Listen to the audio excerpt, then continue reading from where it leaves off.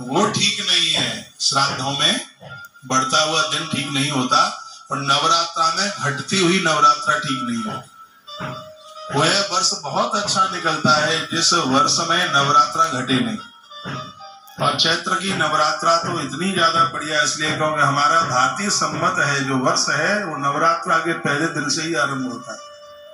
जो एक जनवरी से शुरू होता है वर्ष, ये तो अंग्रेज़ों का लेकिन हमारा जो वर्ष है, वो नवरात्रा के पहले दिन से, चैत्र की नवरात्रा से पहले दिन से आरंभ होता है।